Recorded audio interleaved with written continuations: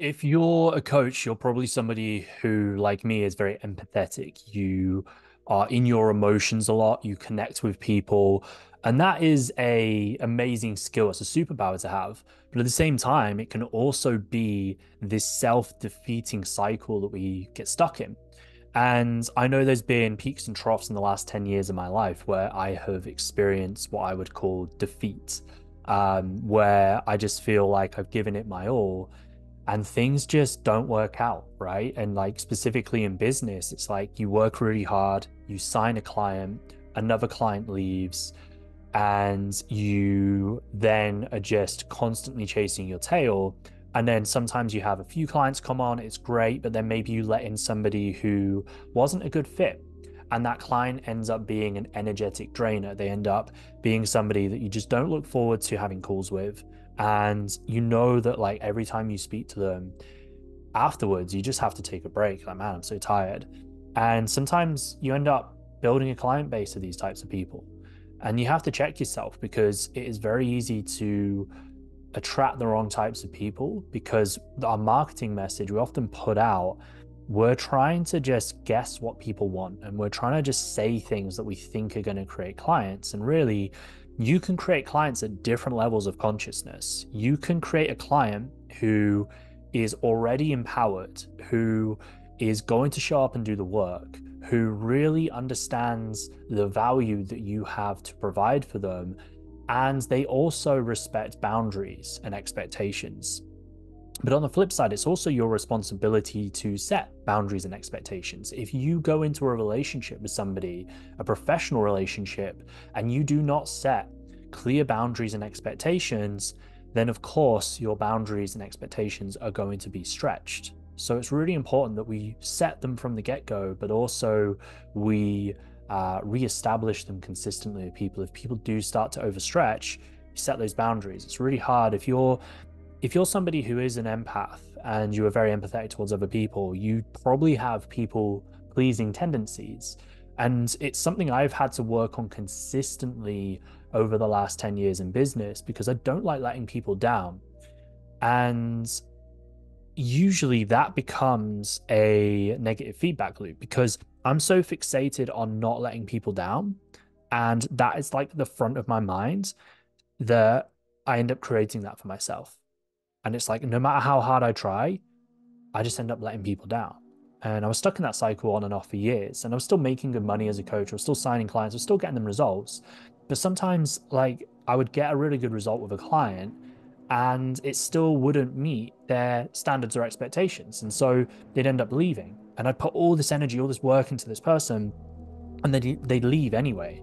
And I just, you know, take a step back and just feel this like deep sense of defeat and like man this is so hard. Like it's like pushing a boulder up a hill all the time. It's like if, if i take my foot off the brake it all just falls apart and then i have to rebuild and it's it's really hard to get momentum.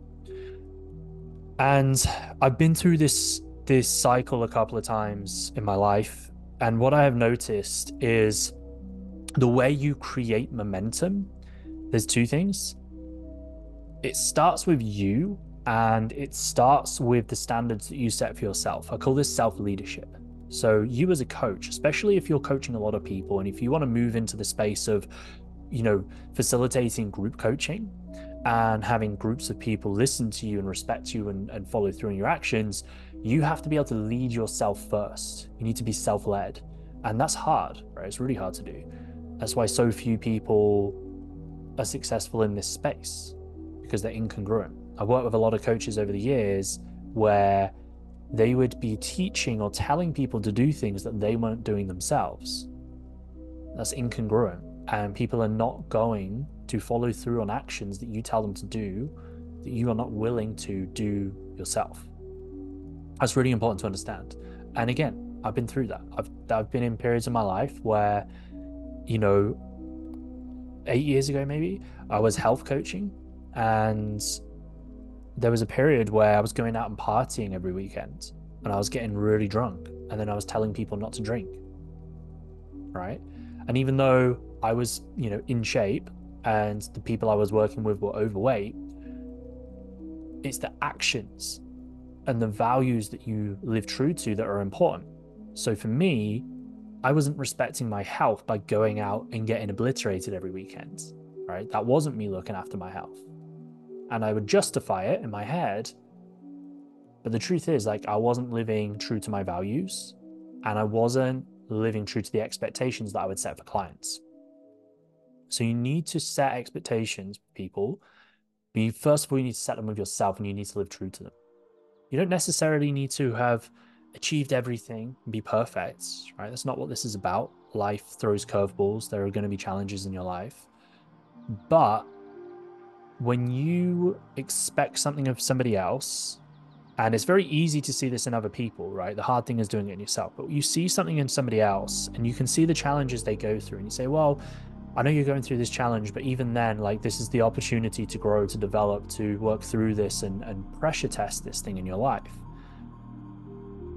You need to ask yourself, are you willing to do that yourself? Like, are you willing to put yourself through the ringer and do those things? And lately, I've been going through a process uh, called monk modes. I'm like just over two weeks in. And I chose a hard period of my life to do this. Like, I've got a lot going on in my life right now with business. I've just moved to Australia. I've just applied for my permanent residency here. I'm getting married in two months. I've got social events coming up. I've got a lot of stuff going on in my life. Like I'm, you know, I'm pretty busy, pretty stressed. But this is the perfect opportunity to put myself through a challenge.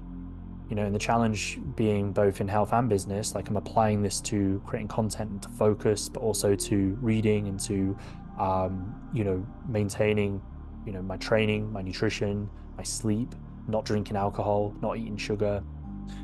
And the first week was really, really hard, right? Because I just felt like everything was on top of me.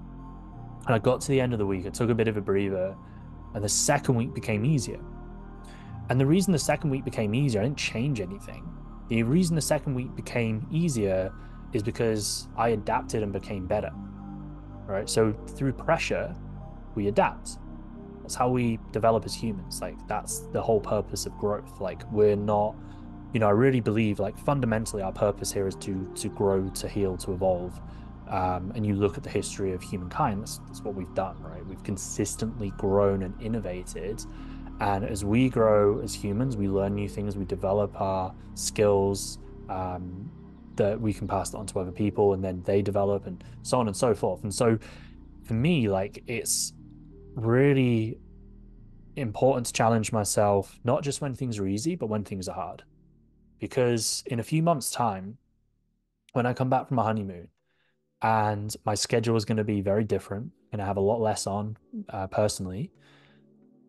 I'm going to have a lot more time on my hands. I'm going to have a lot less external stressors. I'm going to be really well equipped to go harder in other areas of my life, right? And that's what's important here. It's important to understand that self leadership isn't about perfection, it's about doing the things that you expect of other people and doing them yourself. And if you cannot do it yourself, do not expect it of other people.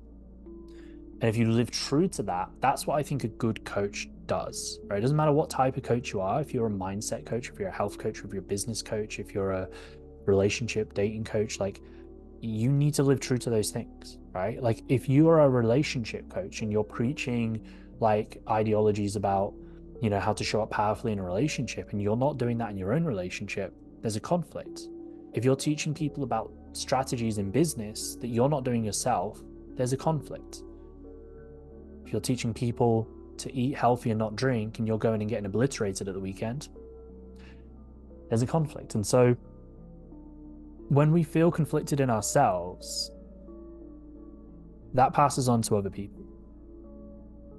And going back to the message of like feeling defeated, when I think October time last year, I'd just been through a stretch. So we, we moved to Australia in September, traveled from the UK, traveled around the US, traveled to Australia, got settled here two days after, or literally, I think it was the day after we got this apartment, I flew to Bali uh, for a few nights to check out a wedding venue. And then I flew to the UK for a wedding. I was there for like a week and then flew back to Australia. So my body was fucked. Like I was I was really jet lagged for like two weeks. I was jet lagged. I just couldn't adjust. But also like I had long periods of flying. I was my body was like in pain from being just on these long haul flights and being in uncomfortable positions. My sleep was terrible. My energy was terrible. And so I put off put, putting myself out there, right? I wasn't creating as much content. I wasn't having conversations with people. I wasn't booking sales calls. It was like subconsciously I was trying not to grow my business. And the reason why is because there was a conflict internally within me. I didn't even I wasn't even aware of it at the time. But there was a conflict within me. And that was the thing that was holding me back from growing my business. I came back to Australia at the start of November and I got really dialed in, right, on my nutrition, on my sleep, on my health, everything, my routines. And I, you know, back in um, October, I had, my, I had my worst month in a long time. I think I did about 5K. It wasn't good. November, I did the groundwork. I think I did 9K in November, but I did the groundwork in November. And then December, I did 25K. Right. A lot of the time, people write December off as like the worst month because it's coming up to Christmas. That was a great month for me. And the reason it was a great month is because I did the internal work and I got congruent with leading my own life. And then in January again, I was doing my visa application, especially the last two weeks of January. I was on like I like I had to get it done by a certain date, otherwise I would have had to leave the country. Like I was on a three month kind of um, tourist visa, and I had to get my permanent residency done before that ran out. Otherwise, I would have literally had to leave the country. Uh, so really, really stressful, and I had a lot to do for that. There was a lot of stuff, and like as I went through the process, I was discovering like more and more and more. There was like more things I needed. Um, and my partner, she like she had to do stuff her end, and she was also really busy with work. So I was feeling really shit about that because I put like unnecessary pressure on her, and it created conflict. And then I started drinking again. And it's nothing crazy. Like I wasn't like going out and binge drinking or anything, but I was just got to the point at the end of the day where I was just so mentally fried and so stressed because I had so much so much like friction that I would just go and, and have a glass of wine in the evening. And for a lot of people, like one glass of wine in the evening doesn't seem like a lot. But if you are reliant on that to switch your brain off in the evening, that is not a good habit to be in you have that glass of wine in the evening, and then, you know, my inhibitions are lowered. I'm stressed, so I eat a load of sugar. Right? I've just had some alcohol and a load of sugar before bed. Guess what? I'm gonna have a shit night's sleep. Have a shit night's sleep. I end up waking up later. So instead of getting up early, I was getting up at like 7:30, 8 a.m. And then I was starting my day on the back foot. And then I was drinking loads of coffee. And then the same perpetual cycle happened for like two weeks. And I caught myself out right? Because I've been through that before. I caught myself out and I knew like this can't carry on. This is not the person who I am or want to be. And so, and I wouldn't expect that of other people. If I was coaching somebody in their business and their personal life was a mess and they weren't looking after their health, I would call them up on that. I'd say, look, like we need to focus on this first because your health is the foundation of anything you do in life. If you don't have your health, you can't do anything. Like you can't effectively grow a business if you're not healthy. And so I called myself out on it and I started working on my health well uh, at the start of February. And that was, you know, was making good progress. And then in March, I just got it really dialed in. So I was like, okay, like I'm not drinking. That's great. Like I've been, I don't know, month and a half, two months without having a drop of alcohol. Um, I was still relying a bit on sugar in the evening. And I, I think that just became like a bit of a pattern in the evening of having some sugar. And I wasn't as focused as I wanted to be. Like I definitely between the end of January and start of February, I made some big jumps and I, I noticed some shifts. But there was there was I still wasn't sharp. That was the thing. I was still feeling quite tired, lethargic. I wasn't feeling sharp. And so started this monk mode protocol and got really, really dialed in. And now I think I'm 15 days in, just over two weeks. Now I'm feeling mentally very, very sharp, right? I'm waking up 6:30 every morning, which for some people is not super early, but for me, like that's pretty early, and that's that's that's a good place to wake up. Gives me time to get up, meditate, stretch, get to the gym, read, look after my nutrition, get to bed at a decent time, getting outside multiple times a day, going for walks, um, and just really focused with the work I'm doing, showing up more powerfully on calls. Uh, I'm not reactive. I'm not people pleasing. I'm holding boundaries and expectations of people. And it's just helping me because I'm leading myself more effectively. It's helping me lead others more effectively as well, even subconsciously, right? Like, even just energetically, if you have more certainty and confidence in yourself, that bleeds into every area of your life. It bleeds into your intimate relationships, right? Like my relationship with my partner has never been better. It bleeds into relationships with your clients, right? Like every client I'm working with now is amazing, right? I'm not working with any drainer clients anymore. I'm not attracting that into my life anymore. And I haven't done for the last, I don't know, six months or a year. I, I, the last client I've had that was like a drainer was probably a year ago, right? I had like a client who was just a pain in the ass. And I don't think since then, I don't think I've worked with anybody who's been like that. Everyone I work with now is amazing. They're great. And so bringing it back, that's a reflection of of the work I'm doing on myself, on my health, on my mind, on my body, on my soul. Like that that work that you just do each day is really important. And if you are justifying shitty actions as a means to an end, like you're just going to be like this for a long time until you break free of that. All right. Man, I just need to make money. If I make money, everything's going to be okay. You make the money, but you burn yourself out in the process and then you can't sustain it. Then guess what happens? You make the money, things are good, things drop off, your health isn't good, you're getting sick, you, your mind isn't in a good place, you're getting depressed, getting anxious, you feel defeated, and you're back at square one. And like, man, I've got to build this thing again. I've got to, I've got to push myself. I've got to push. I've got to force. But it's not about, it's not about force, right? Like when you set solid foundations for yourself and your health and your energy, you experience more flow. There's a really good book on this called Power versus Force by uh, Dr. David Hawkins. Talks about this in great detail. And there's a concept that I learned in 2016, which, which for me, it took me a while to get my head around it. But when I did and it clicked, it, it really made a lot of sense, which is like the four levels of consciousness. And the lowest level of consciousness is the level that most of us live within. And I live within for a very long time in my life, which is the, the state of to me. That victim mentality of everything is happening to me when you live in that state, it is very hard to be productive because you're just in a very negative cycle. You feel a victim to life. Everything feels hard. Everything feels heavy. You feel defeated. You are in that state of, of to me, right? The next stage, which a lot of entrepreneurs find themselves in, and I was in when I first kind of heard about this kind of concept, is the state of by me. So when you're in the state of by me, that consciousness, you're forcing you're pushing, you're hustling, you're making things happen by me. I'm going to grind, I'm going to make it happen. It's not very sustainable. It's not very healthy a lot of the time. We just put immense amounts of stress on ourselves.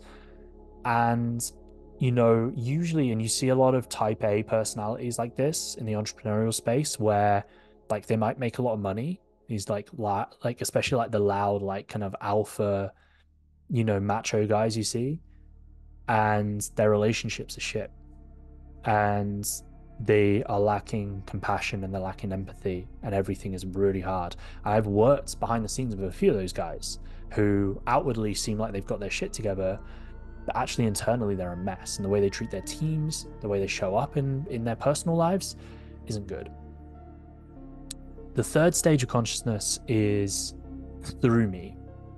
And this is where life is flowing through. And you are more expressive.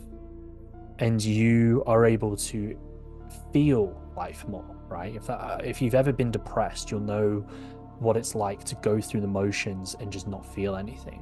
When you're and when you're really stressed you'll know what it's like where everything's just forced and everything's just happening really fast and, and you don't even know what's going on half the time. You're just pushing and pushing and pushing. But when you take a step back and when you let go of control and you stop trying to control all these little things and you act from a place of power not from a place of force but from a place of groundedness, from a place of trying to create something of meaning in your life to help other people, to show up in a way that is impactful for the people, even just directly around you. You are a positive force of nature, you're a positive person to be around. You start experiencing flow in your life and things just just start working out for you. It's hard to explain. Like I've had this, you know, a lot in my life the last kind of six years things have just I've, I've just met people at the right time and like the perfect opportunities have just appeared at the right time. And i've made decisions where instead of them being a really hard decision i've just made it and then it's worked out. That is a really powerful state of consciousness. And the last stage was really hard for me to one get my head around but two conceptualize in a way like how is this actually useful? Which is the state of as me. And this is where you see everybody as you, as a collective consciousness. I am you, you are me. And what I mean by that is like you you are me experiencing life through a different perspective. So we're all the same source of energy, but I have different stories. I've been through different things. I grew up in a different place. I had different parents different external factors, had different genetics, I had a different body. But on a deep level, we are all the same. We are all equal. When that, it took me a few years to really get my head around that. And through kind of like deep meditation is how I kind of started to experience this. And when I started to, this is a whole nother video, but when I started to experience God in my life again, and this universal creative energy, that's when it started to click that we are all interconnected. And there might be things that piss you off about other people, but it's not the, the it's not the soul of that person. It's it's the ego, it's the surface level stuff that's coming to surface that triggers you and mirrors things that trigger for you.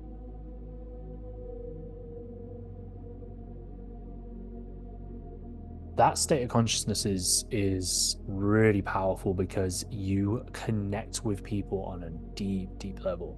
And then from there again ties back into leadership. You are able to lead people effectively because you really connect and you really empathize with other people. Like empathy is such a superpower because we're all in this together. And i believe that like our purpose is to grow and evolve so that we can have a positive impact on those around us. And when we have a positive impact on those around us and empower them with the beliefs, the tools, the support to grow in their own way, they flourish and they have a knock on effect that has a knock on effect with the people around them. It's this overflow effect, right? When your cup is overfilling, helps other people fill their cups, their cups overfill. It just has a, a really positive ripple effect through humanity. How that applies to business is a lot of the time when we're trying to create things, especially as coaches, we get really bogged down in the weeds. We get really kind of just zoomed in on like these little specifics of like, okay, I just need to fix this thing. I just need to fix this thing. If I fix this, if I work this out, if I just have this one funnel, everything's going to work out. And then it doesn't. Or it does, and then things fall apart, and then we have this anxiousness and this, okay, now I need to fix it, now I need to fix, right? And you're just constantly trying to fix things. It's because you're operating from a low state of consciousness. If you create things from a higher state of consciousness, emotional state, a energetically and healthy state, you're building solid foundations. And brick by brick, you're just building things and building things. And the more solid a foundation is, the harder that structure is to topple. And I'll just wrap up on this because there's a really good kind of analogy for this. Like, I'm on the 24th floor in this building I live in. It's like a massive skyscraper, right? The taller the building, the deeper the foundations. Right? So I don't know if you've ever seen a, a big building be constructed, a skyscraper, but it is just a massive hole drilled into the floor, right? And they'll spend maybe a year just drilling down into the floor, into the grounds, and creating these foundations to be able to create the skyscraper. Skyscraper. It's the thing that keeps it sturdy. Right? You don't just build it from the ground up, otherwise it'd fall out. Same thing's true in your life, right? That deep foundational work in your personal life is often the things that, you know, are really hard. The digging deep, forgiveness, working through trauma, working through, you know, the past, building healthy habits, becoming better at communicating with yourself and with other people, being able to lead yourself effectively, lead other people. And then the actual building, the actual thing that's scaling is the the surface level stuff that people see, right? The content you put out or the funnels you build, the sales calls you have, the clients you have, the money you make, like that's all just a result and the surface level stuff of the foundational work that you do as a human.